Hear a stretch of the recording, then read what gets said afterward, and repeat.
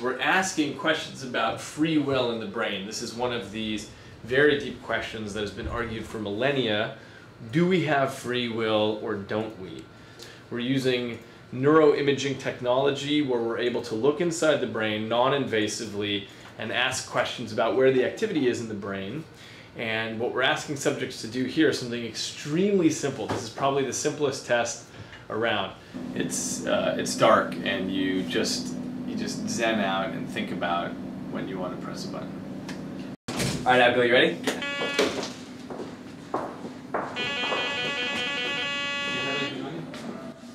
In this way, we're, by examining and teasing apart the different neural signatures in these conditions, we are going to get some deep insight into this issue of free will and how the brain makes decisions. Okay, these are the two button boxes. I'm going to place one in each hand, put you in, and um, and, and if you feel just to, we're we're standing right here, so if you feel nervous, if you feel a little claustrophobic, just stay still. You might have to pull your arms.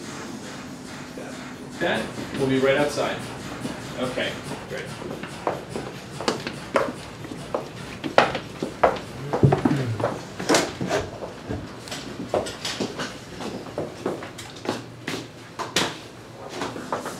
All right, if you're ready, move as much as you want right now. Just kind of get comfortable, and then once this first scan starts, really try and stay as still as possible for the whole time you're in there.